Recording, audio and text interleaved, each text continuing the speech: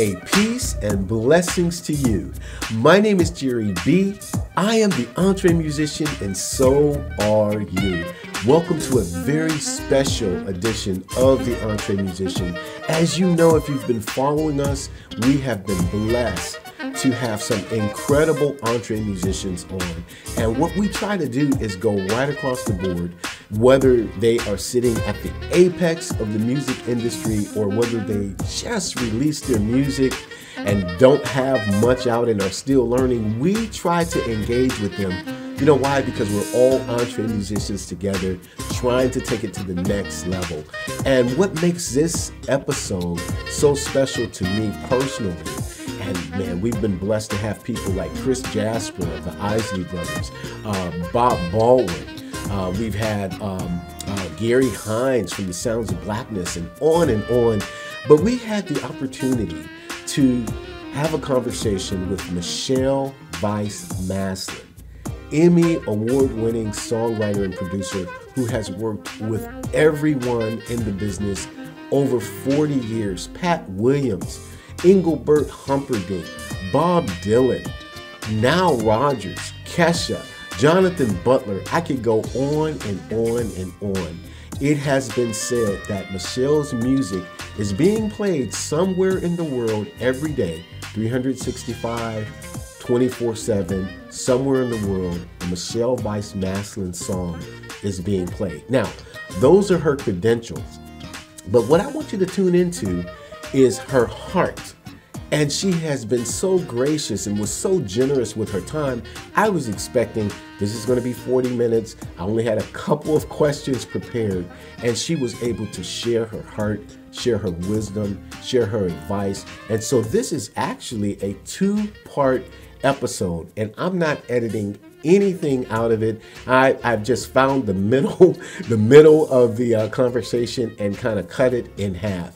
And then for those of you who are subscribers to the EntreMusician, you've clicked on the backstage pass and you've registered you know, we have with everyone, just about everyone who we have had a conversation with, they do bonus uh, time with us in the backstage so that you can have access to stuff that we don't make available to the general public. And here again, I thought, given her time, given her schedule, she would only, you know, provide 10 or 15 minutes tops. And I would be very cool and thankful for that. Yet another 45 minutes went by like nothing we wound up talking on average about three hours or so. So, this is a really special edition because of the wisdom that she has, the experience that she has as a songwriter. Not only pitching to music supervisors and music libraries and having her music in so many different shows and film, but also to top artists that she is writing for all the time. My pleasure to introduce this to you, which is why I've come on for this very special introduction. But I've, I've found in her a friend and a, a genuine spirit, and I thought, man, let's let's just get this one out as quickly as possible. So for this week and for next week, uh, we'll chain these two episodes together. Uh, separately but together if you understand what I'm saying. But uh, without further ado, it's my honor and my pleasure to introduce to you my new friend, Michelle Vice Maslin. Hey, peace and blessings to you. My name is Jere B. I am the entre musician, and so are you. And so is this super soul sister who's sitting to the left of your screen. You know, we've had entre musicians on before, we've had ultra entre musicians, as we call them. We have to invent a new title for Michele because we're going to have to start with what she hasn't done because everything that has happened in the music industry that you're dreaming about and that you think you can't accomplish, she's been there, she's done that. I'm telling you, Michelle Vice Maslin, not a day goes by on any television set or radio where you don't hear one of her songs. She's an Emmy Award winner. She has 5,000 plus placements in sync licensing, TV, film, gaming, you name it. This is Michele, and she has agreed to grace us with her time, and I couldn't be more delighted. Blessings to you, dear heart. How are you? Oh, I'm amazing, Jere. Thank you. How could I not be after that amazing introduction? Blessings to you. That's so beautiful. Thank you so, so much. I mean, you Thank have you. really, really, really, really enamored us with your accomplishments. And I'm grateful for that. I feel like I know you already because I've been trolling you on all of your webinars and the videos and the interviews you've done. And here's one thing I want to say before I ask my first question. I want to say this to you because when we were on the webinar with Barry Coffing for musicsupervisor.com, and I already knew who you were and I just chatted and hey, I would love to interview you on the EntreMusician. You just graciously said, yes, I'd love to. You didn't know me from Adam. I mean, you didn't ask how many hits I, I get or views or subscribers. You just said yes. And so that's that told me something about your spirit right off the bat. So thank you very much.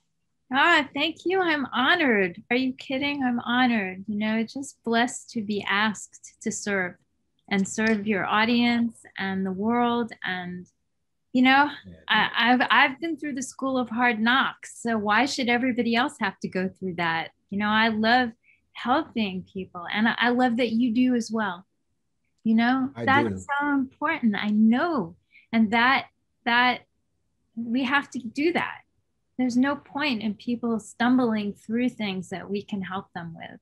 Man. And you yeah. put that so very very well.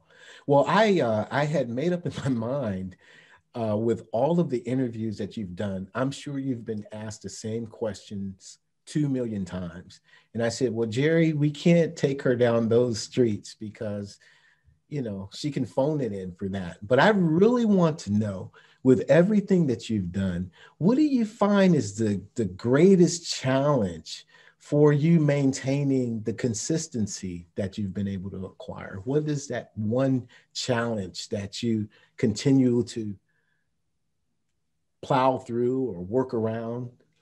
Do you know what that is? You know, you hit the the nail on the head when you said maintaining. It's maintaining, it's sustaining. That's the challenge. Mm. I mean, people all think, oh God, if I just get one hit, if I just get one cut, if I just get one placement, oh, life will be so much easier. But, you know, sustaining it is so hard. Yeah. It's every day, it's facing the rejection and brushing it off every single day. So let me yeah. let me ask this question then. So you're saying what you're telling us is that a young lady who has achieved not only an Emmy nomination, but has earned an Emmy, has 5,000 placements, that there's still some challenges. That's what you're saying. It's not easy street after you quote unquote make it. That's what you're telling us. No, nobody cares about your, your awards mm. and they don't care about your your discography and they don't care about your hit songs and they they just don't care. They just want what they want wow. and and in order to sustain your place in in this world of work and music is is challenging every day and that's kind of exciting right because you never know what's going to happen mm.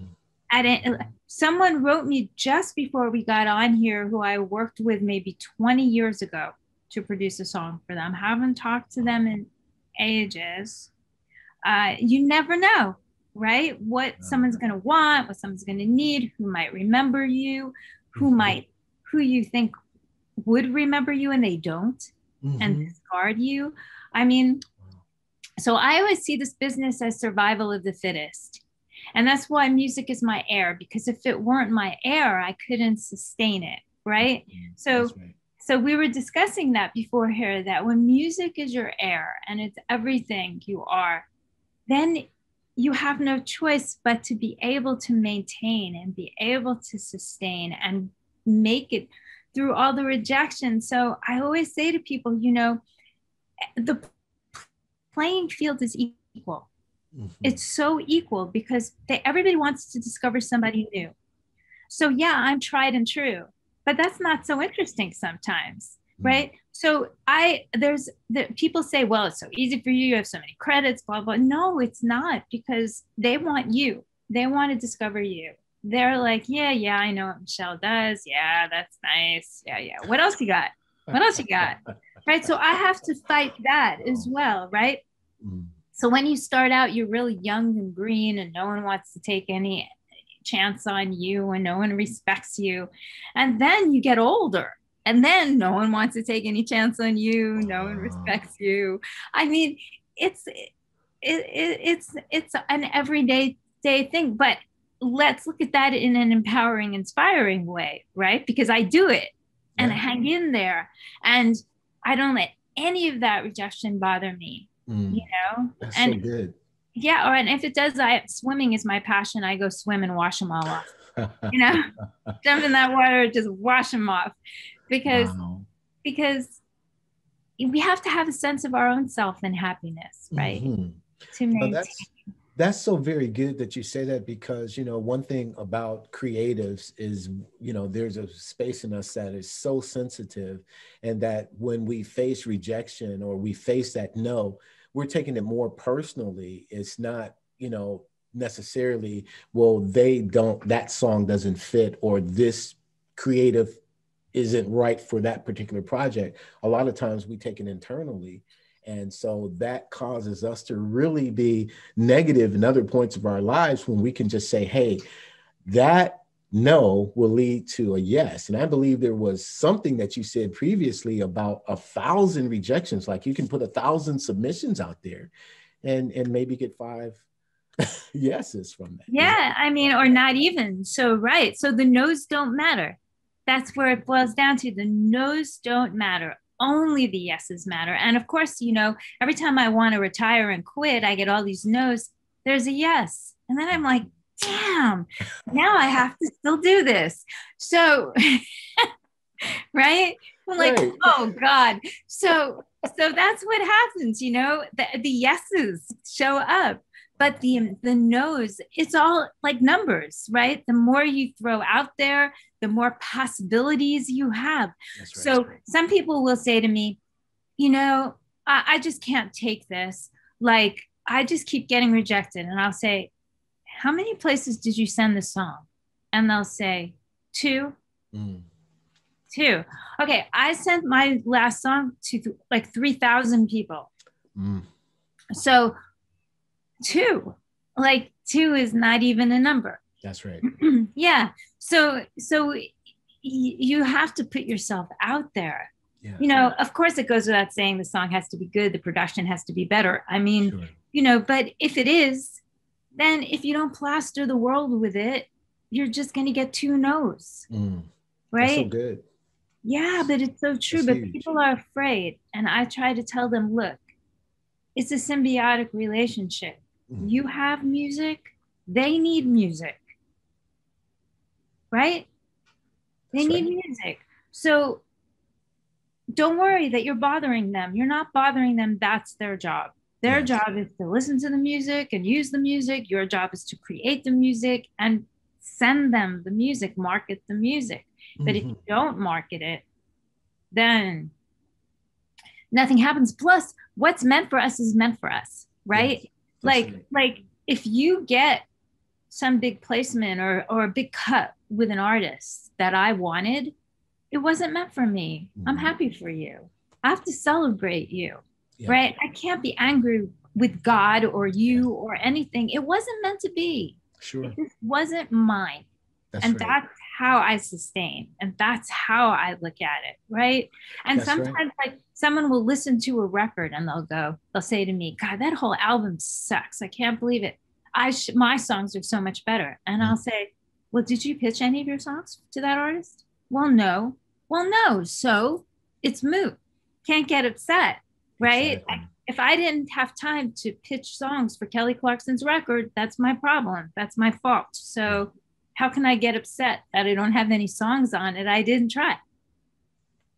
Right? It seems so simple, you know, and we yeah. complicate things, but that's that's just it. If you don't plant the seeds, you don't you reap the harvest.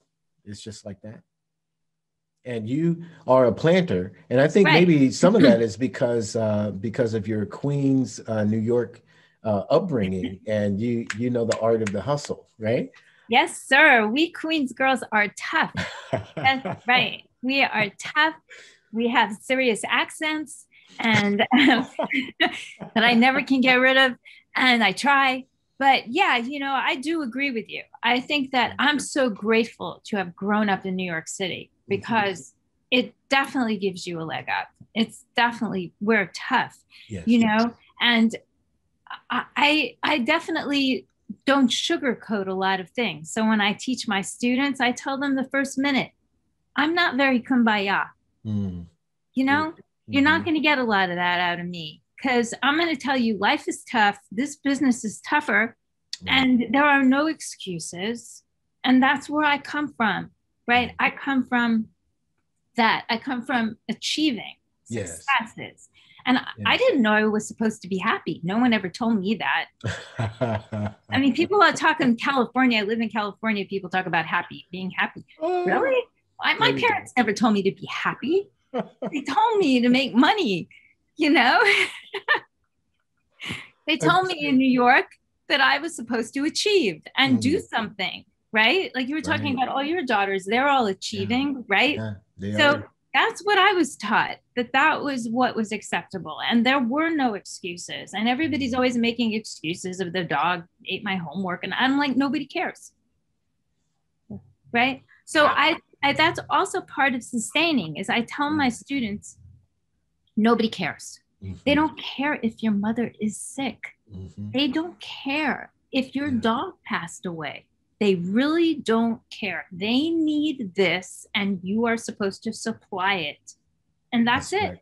And that's then once you have that mindset, it's sort of easier because yes. you realize there are no excuses, right? It's like if you cheat on your spouse, there's no excuse. None. You might have done it, but there's no excuse. You exactly. don't have one. Right. You're not supposed to do that. So, right? So it's That's very good. cut and dry. And so it's like that in in business as well right? So i think also that's how i see it is if i don't show up then i have to be prepared that i burn the bridge. Wow. You know that's and i've worked at my career that way telling people because they all say well i didn't do this. I didn't have time to go to the studio. I didn't have time to this. Mm. i didn't well that's that's not their problem. That's your problem. That's so right. yeah. So that's, that's i guess right. that's queens as well. I'm i'm very i'm quite tough. So I see that. All now, five feet of me is very. It, it's necessary. it's necessary. When you look at your track record and when you look in the rearview mirror to see what you've accomplished, I know that when your nose was against the grindstone, you were not really trying to tally up any points. You were just going at it day by day, and then subsequently, this is what has happened to you. A, yeah, and the key is the key is to not step on anyone, in my opinion. Mm-hmm the key is there's enough work to go around. Yeah. And that's right. that abundance mentality. We were talking mm-hmm. about that a little bit, you know, mm-hmm. before we we went on here. But you know, the poverty mentality saying, okay, well, it's only so many slices of the pie. But no, abundance means there there is no amount of slices. You can just go and get yours because that door is going to open for you if you continue knocking on. Yes, exactly. And and there aren't enough hours in the day for me to write every song that's needed or produce every song that's needed. And there's even Diane Warren, there's not enough hours in the day for her True. to do all that, you know. True. There's enough abundance for everybody, like what you're saying, who participate. That's right. Yeah. That's exactly right. Well, why don't you take us through a day of uh, Michele uh, Vice-Maslin? What does a typical day look like for you? Oh God, a typical day never goes as planned. That's all like, right? You want to make God laugh, tell him your plans, right? right? God, every day I get up thinking I'm going to accomplish all this stuff, and then that doesn't happen. Mm. But because there's just so many things that people need, you know, that they they need songs and they need stems and they need productions and they need me to change something and my students need me to answer something and like you know so i always have really good intentions but but usually everything gets derailed but but in the first what i do first in my day in terms of work and getting it together is I read the trades. Mm-hmm. So that's my first thing in the in the day. And the problem is right now that there are too many trades and they fire at you all day long. Wow. Emails of things that are happening. So I have a filing system, things to read later, things to read now, things to toss, you know, things to do. I mean, I have all these different files. Yeah. And but that's basically the first thing is I want to see what's going on in the world and in the world of business, of mm-hmm. music business. So both the, the world in general, what happened in the news, I want to see quickly what's going on. And I want to see, you know, what projects are being made what new things got picked up what got canceled what artists are making albums. So i'm i'm i'm I, there's a bunch of trades that i read or skim through. And that's mm-hmm. the first thing i do.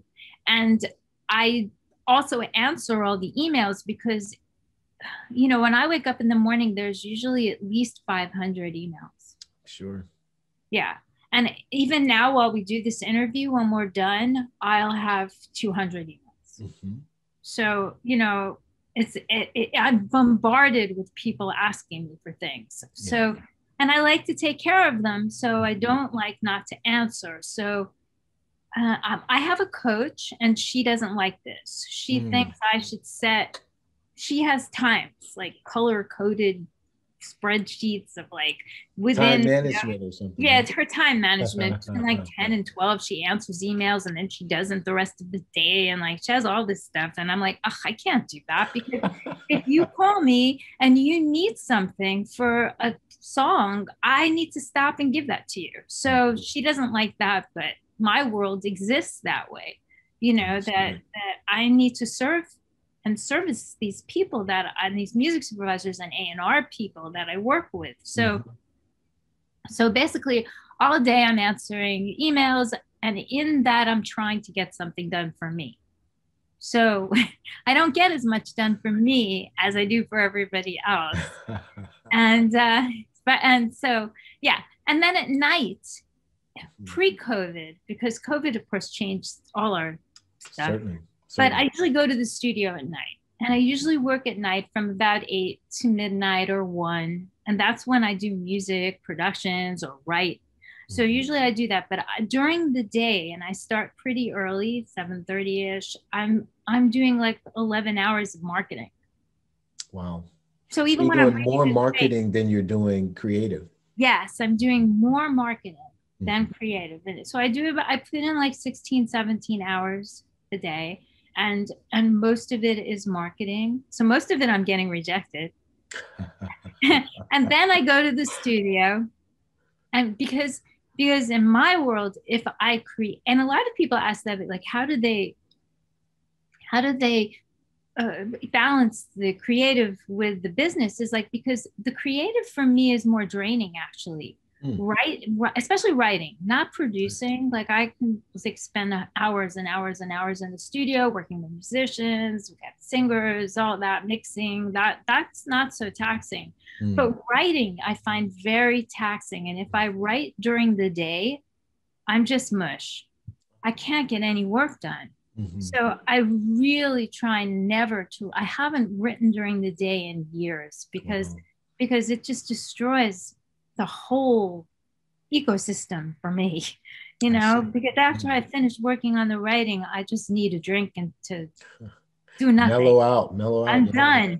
yeah it's so brain draining. Mm. so usually i do that at night. So that's my day you know and and and i take a nibble here and there and sometimes i pass out and take 10 minutes of a nap because i'm so tired. Right. and and uh, usually work outside. I like to sit in the sun mm-hmm. and pitch songs and market and do all of that because then at least it's happy and bright. But right now we're in May gray, and so we don't get any sun. We haven't had any for five days, but wow, in sunny California, it's gray. Yeah. But yeah, so that's. I mean, I hope that you know that answers it. I'm feel I'm yeah. fielding whatever shows up. You know. Understood. And we never you, know you are comfortable and you have your feet firmly planted in both the sync world as well as working with artists. Uh, you know, one tends to be obviously more uh, business, I guess, but with the creative, with working with artists, I mean, which one do you really migrate toward, or are you just equally right on point, equilibrium with both both of them? Do you prefer? Yeah, I, lo- I love to do both. And there's a question no one ever asked me, so there we go. Uh, I love, yeah, I love, I love to do both. When I write songs, like the one thing that I don't believe in is writing for sync. I do not believe in that. I write songs to write a great song. Hopefully, sometimes That's they're good. They're good, sometimes they're not so good. Just like everybody else, you know, it's not like every song I write is great, and I try to make them great. But I try to make them great songs. I don't try to think, well, this is for sync. Who cares? So I don't come from that place. So when I write with artists, I usually have a discussion and agreement with them that we can pitch it for sync as well as for their album or whatever is going on. Usually they're open to that, right? Because they mm-hmm. want possibilities. Yeah. But I try to make the best song possible. That's good. Yeah, I mean, I, if and there are parameters. I mean, if I'm writing with a major artist, mm-hmm. you know, then I'm following their voice and what they want right well actually mm-hmm. anytime i'm writing with an artist it's about them it's not about me so even if it's a brand new artist and they're 12 years old it's about them yeah. you know i'm just channeling them but you're not an artist yourself though but you work with all of these artists and then you work in in the sync world so but you're you're, well, I'm a secret, quiet closet artist. Sure. Closet I, artist? yeah, when I started out, I was an artist. Well, you yeah. were in a band, right? Early. I was in many years, bands. Singer, yeah. Yes, I was in bands. I did performance art, very weird stuff, and I so I started out as an artist mm-hmm. for sure, and through the years, right? Yeah. Every so often, I do something as an artist. Is that right? Yeah. See, that that I did not know. So you you release something on your own and just say, "Hey, this is me. This is just because I wanted to do it. It's not." Right, exactly. That's that's exactly. A, a, couple have just got placed. And so that's always fun. Mm-hmm. I have a new little project. So I always have a, a, little thing, you know, every so often I, I come out and sing and sing and do something that's for my own soul and and and that but like yeah but it's definitely from my soul and do i like making uh, commercial things with it yeah of course you know i mm-hmm. mean for sure if people want to use them that's fantastic yeah. but but i do also work with a, a lot of artists and i have a single out right now with jonathan butler who's one of mm-hmm. my um, most favorite yes favorite collaborators I've, I've written with him for 20 years and we have a new single out and it's amazing because all these famous jazz cats play on it. We have Dave Koz and Candy oh. Dulfer, Maysa Leak is on it, oh Jeffrey Osborne, Marcus Miller plays mm. on it. Yes. Oh my God, I think I'm missing some people. It's just like loaded with all these people just shared their talents on our song. It's like wow. so incredible. But Jonathan is amazing to write with. And of course, when I write with him, I channel him. Mm-hmm right? I, I'm such a great spirit too. He has just a, such a wonderful spirit. Yes, he's very religious and very mm-hmm. spiritual. Yeah. He, he's he's amazing. So that's all I can say. I love working with him. He's an amazing voice. He's an amazing musician, guitar player, and and eh, just a great collaborator. It's really wonderful. And and to write, you know, for him, and he sing and have him sing also things I write to write in his voice Yeah. you know, because I, I we're so different. Well, we're the same age, but other than that, you know, we yeah. we have different, we're very different, and it's, it's so powerful. That's awesome. Well, let's do let's do this since you you opened up that uh, that closet. Let's uh, let's do a little name dropping and and uh, I'm oh. gonna uh, you know because you've worked with so many different people. Maybe you can describe them in one word. Okay. Uh, oh my God. Bob Dylan. Legend. Engelbert Humperdinck. Engelbert. One word for Engelbert. Oh my God. Oh my God. Excited. Excited. Yeah. Syreeta Wright. I was just talking about Syreeta yesterday. Okay. Songbird. Mm. Songbird. Syreeta, magical. I was mm. just telling someone actually that how even when I was a little pisher and I wrote with her, that mm. she sang a demo for me. Wow. She sang for me. I was just starting out and she sang my song for my goodness. Just to be beautiful. And and yeah, Syreeta, so sorry she's gone. She amazing songbird. Yes. Absolutely. One more. Now Nile Rodgers. A gift gift, blessing. Nile Rodgers is my the reason I'm here. Nile Rodgers took me in, mentored me, didn't have to. Wow.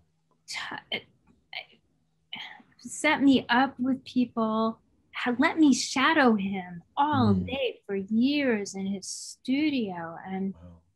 and just yeah, he's special, special guy. He, you know, he really is an amazingly nice human. He is what you see. And wow. some, I, I don't know anybody who's ever has a bad word about Nile. That's all I can tell you. Just all the people, all of us who have worked with him, yeah, know it like hang and talk to each other. Like he has, he had this. Besides his amazing talent, his this magic mm. Kindness and wow. and the reason why he worked with me is because my my stepsister she just passed away and mm-hmm. Ashley Nile made the most beautiful tribute of her is that which right? was so beautiful uh, she she had been friends with him since early 80s and she said to him he kept wanting to like hang and date her and she said to him i'll go out with you if you help my sister and Is he that- did. And he did.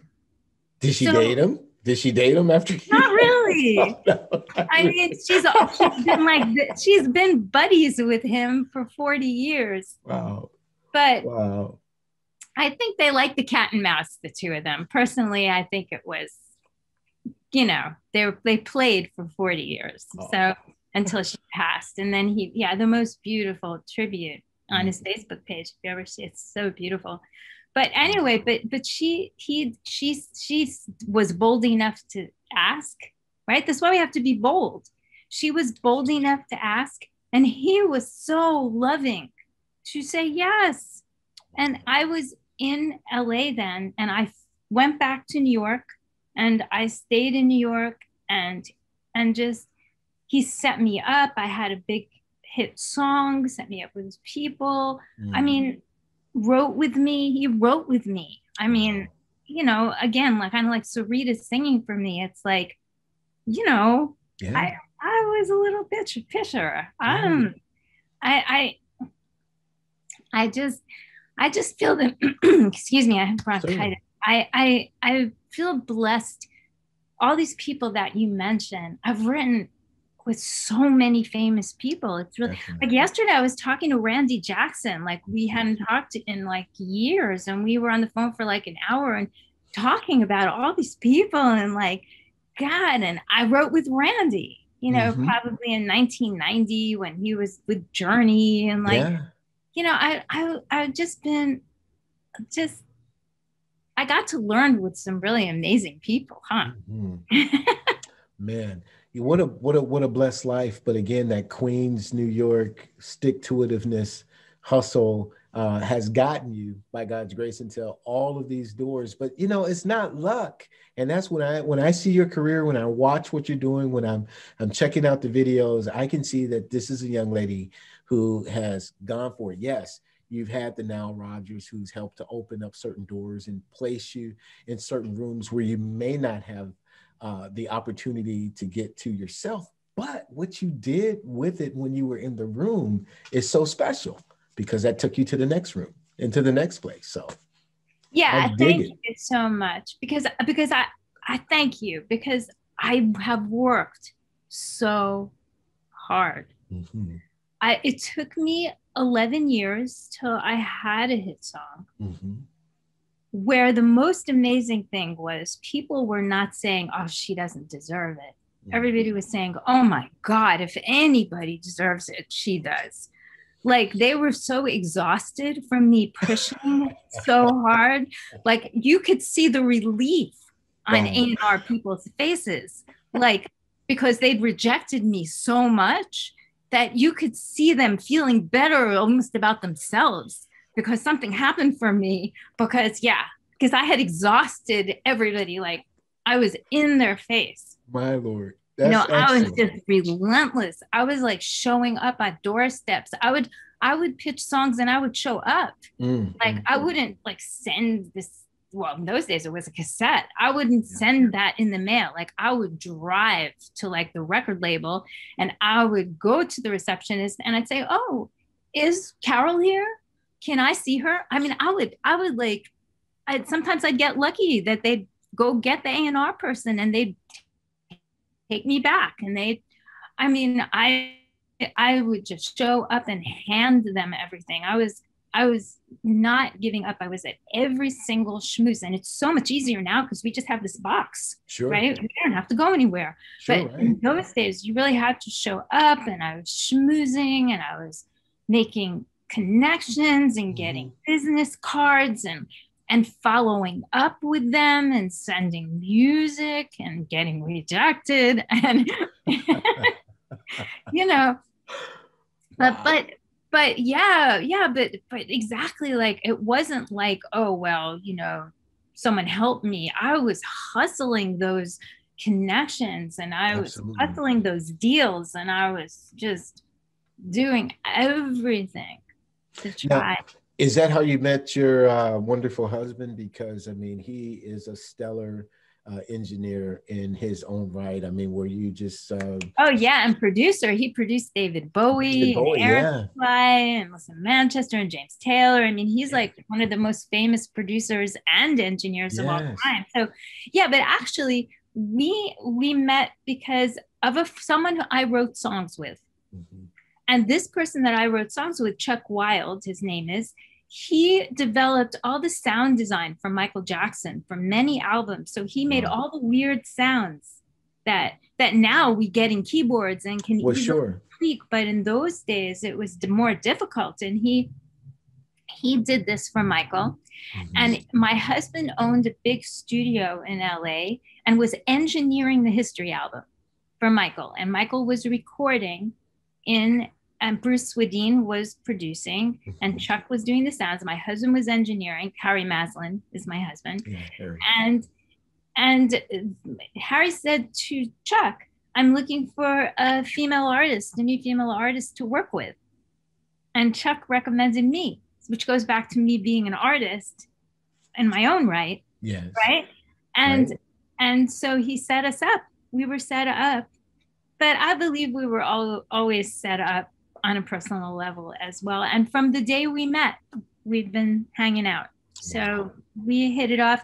When I left the studio that day, my husband laughs and said that he said to all his employees, "There goes my future ex-wife." right? but but that was almost 25 years ago, and I'm still go. here. So thank you.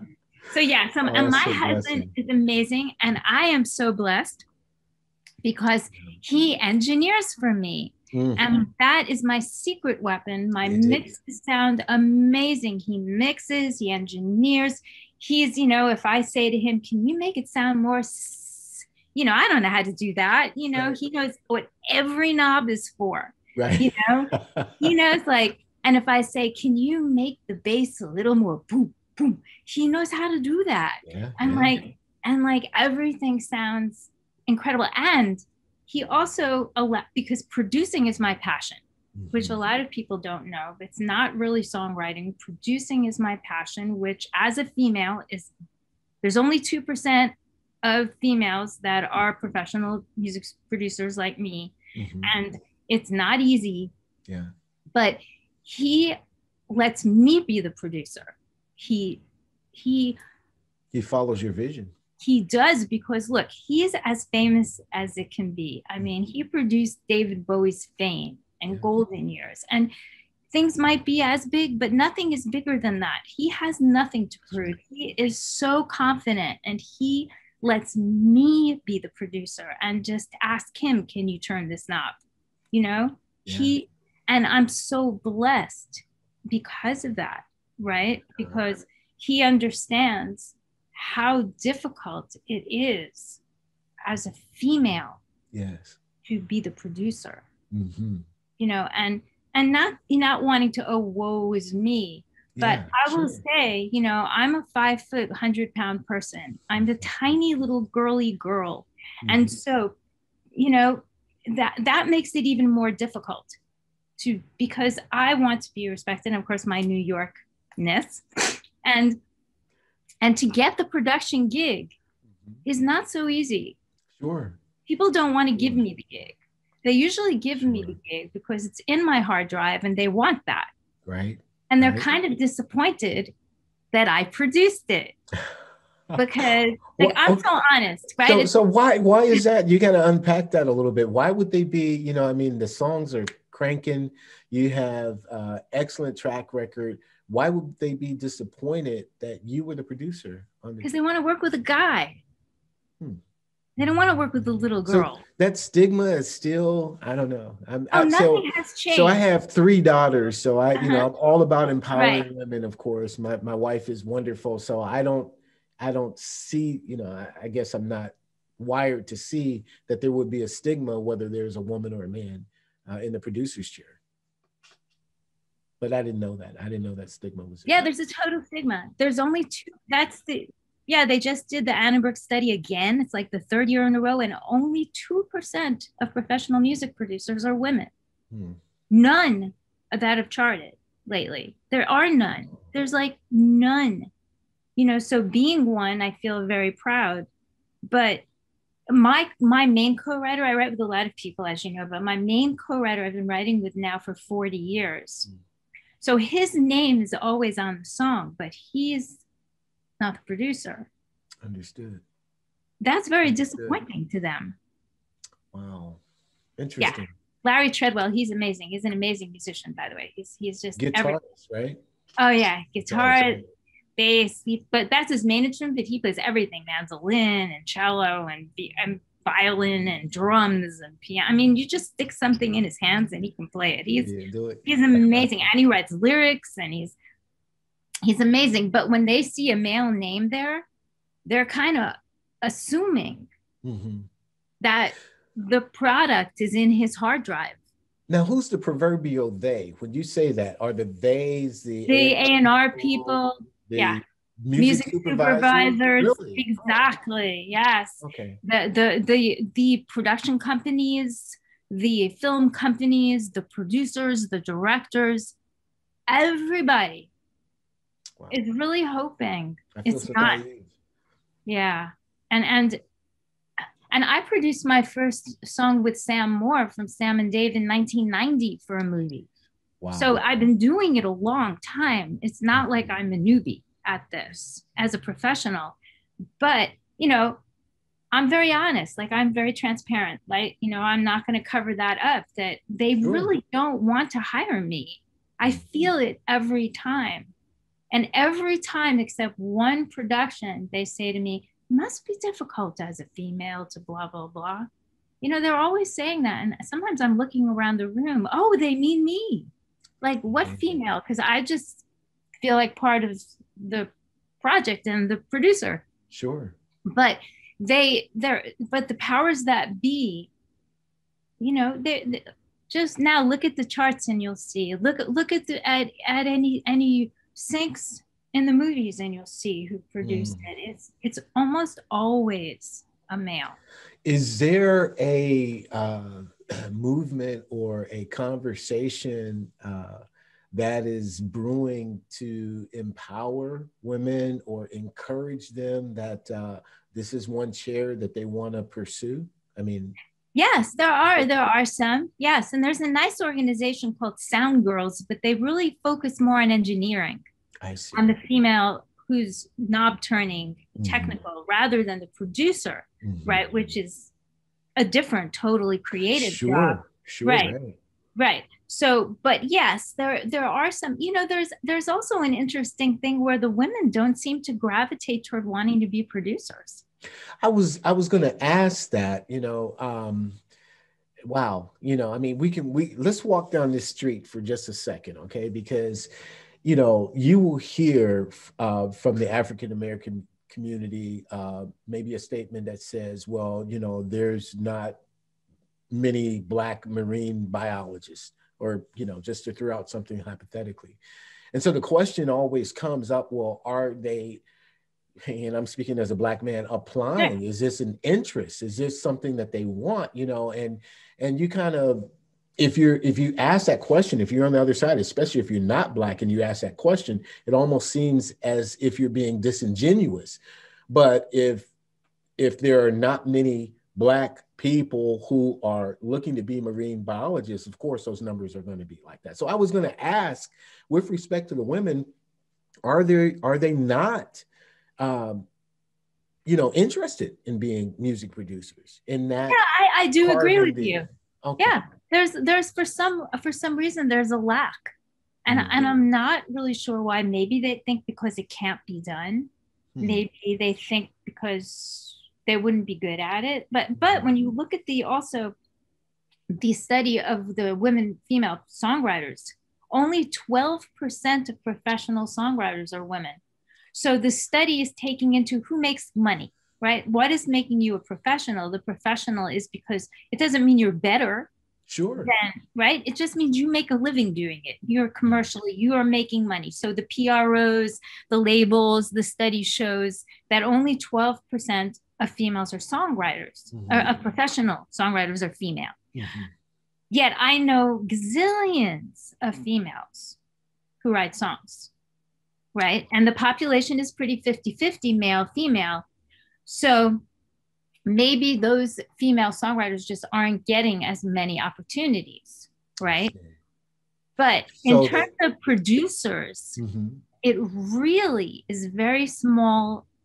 I, I rarely meet a female who is aspiring or working as a producer. Very rarely.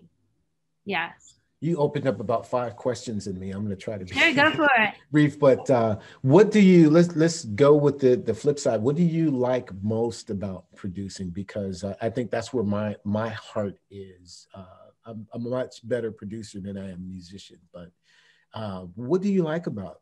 Uh, so you love it. That's awesome. That's awesome. I should ask you. Um, what I love about it is the creation, making the song come to life mm-hmm.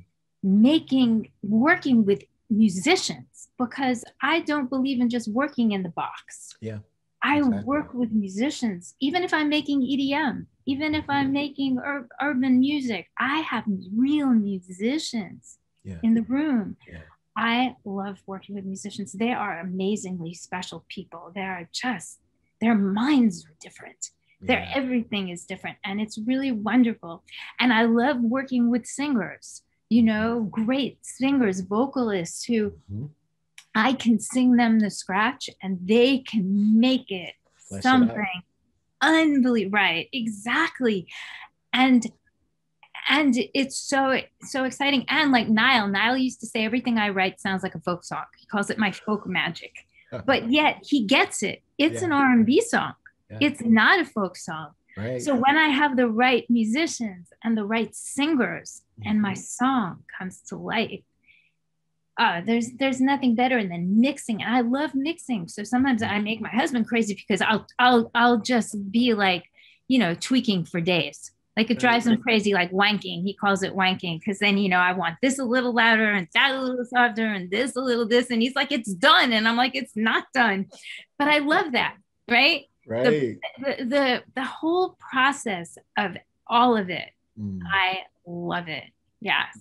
That's you? really cool. You, you yeah. know, with the production? Yeah I, lo- I love the journey. I love the blank canvas uh, and you you paint this idea on it. And as you say working with vocalists or musicians and the technology and just getting involved with there was nothing here when we sat down a couple weeks ago and now we are taking people on the journey. So all of it the layers i just I yeah and when and with the technology too because Definitely. if you're making dance music mm-hmm. and you have no effects and then you dial in some cool effects and you go let's try this let's That's do right. that oh my god that is like so exciting it's just eh, you know and then if i if you're playing bass and i'm you're going boom do boom or me i'm saying i want boom do boom do boom right. and you're going well what about if i go boom do boom boom right and then i'm right. going yeah that's better right we're working together it's not like all about like what does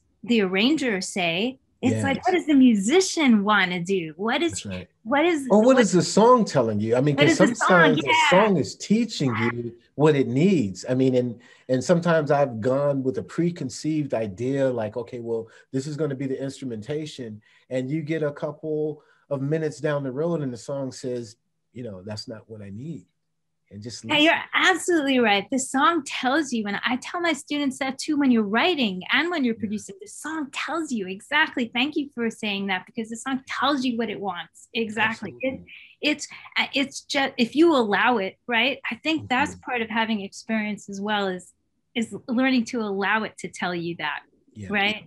Rather than right. than you having to control every second of it so that it becomes something. And then i have to tweak stuff yeah. And I will tell you, as a female, and and it's happened to me on so many occasions. Like I'll have to do like 25 remixes. Mm. They would never do that to you. Mm. I mean, I've never... had ABC and Disney and Lionsgate and all different attorneys at different companies saying, Can you send me all those mixes? I want to hear what you had to do. Because they cannot believe that I was tortured like that. And the reason is they don't trust me because they don't trust themselves. right? right? They don't they don't trust me. So especially let's say I'm working on a hip hop song because I, I obviously look at all the artists you've mentioned so you yeah. can see that I've worked a ton with Definitely. black music. Yes. Right? Okay.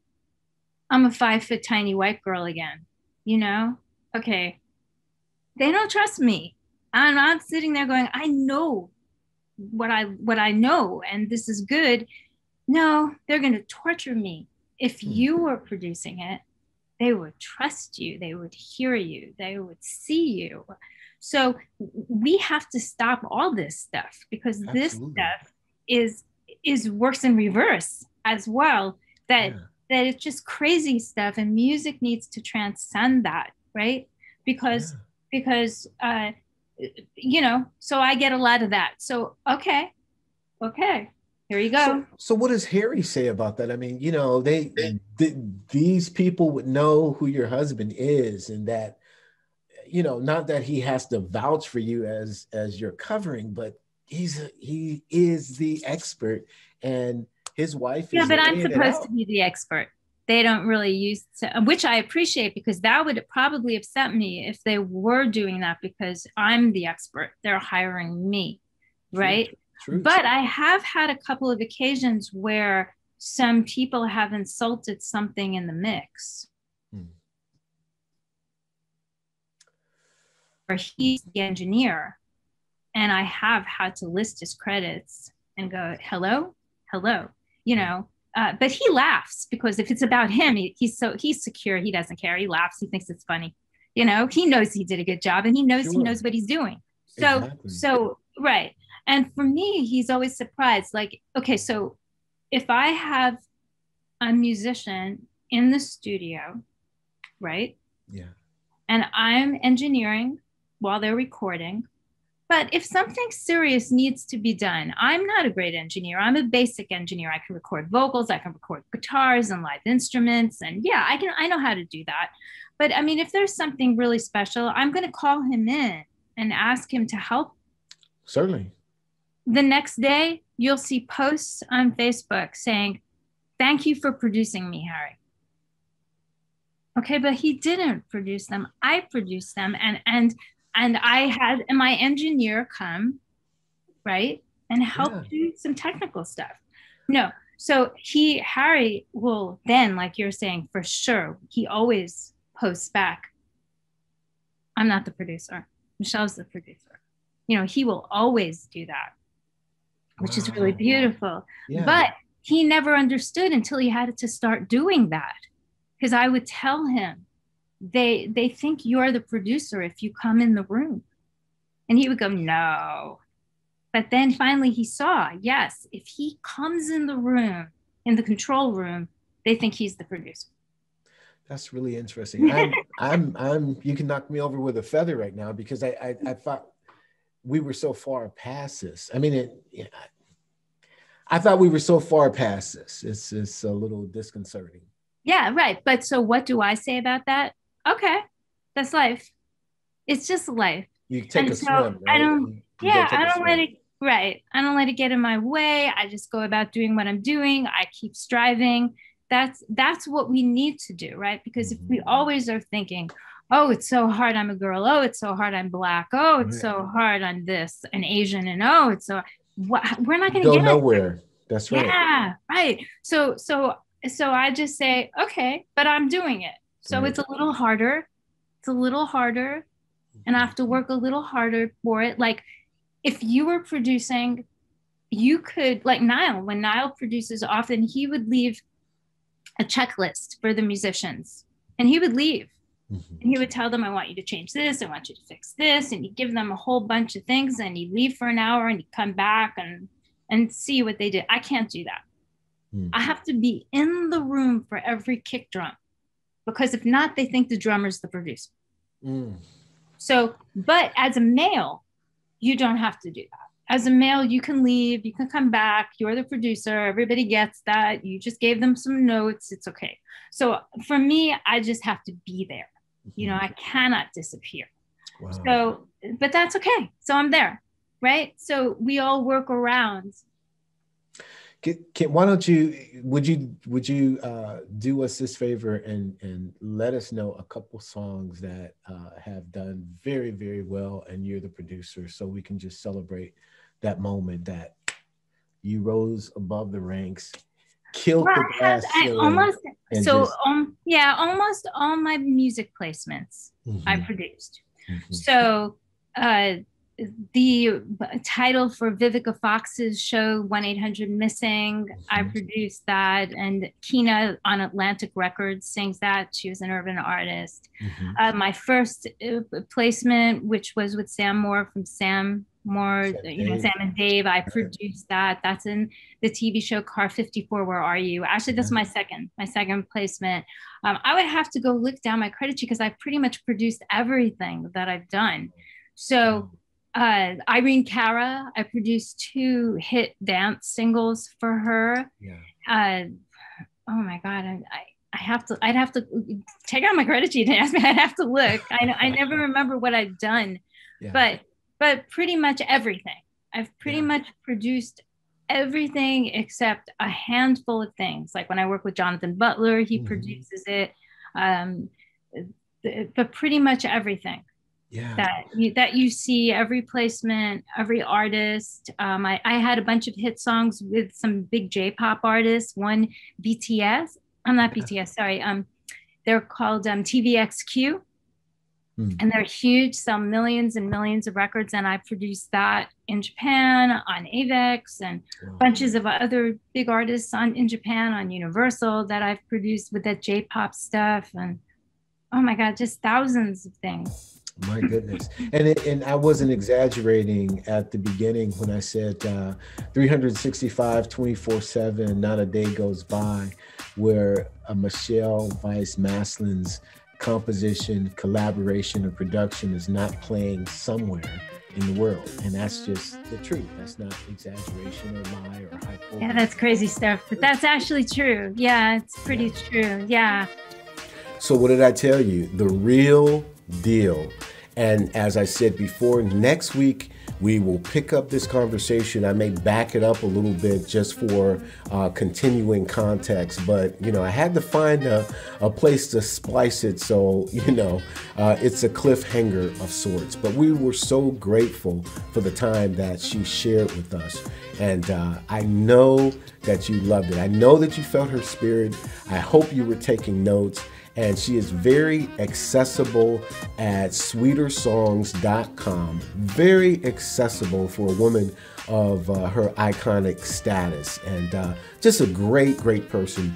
So I hope you enjoyed this. I hope you will share this uh, content, uh, put it on your own social media page. I hope if you're not a subscriber that you will come and register with us. There's four tiers of registering uh, to become a subscriber at the EntreMusician. The first one is fan or follower or friend or family member. So we we try to make it as economically feasible as possible because everybody needs a cup of coffee at some point. So we're not trying to kill anybody on monthly uh, subscriptions, but we do all that we can to provide the best access, uh, collaborative uh, opportunities and other forms of engagement so that you know that you're in with us because you're an entre musician. That's just the way it is. You are an entre musician, and we're all out here trying to win together. So tune in next week again to hear part two of our conversation with Michelle Vice Maslin. And in between times, tell everybody you know and 10 people you don't know that you hang out here at the EntreMusician. My name is Jere B. Of course, I am the EntreMusician, but so are you. And we will see you next time. God bless.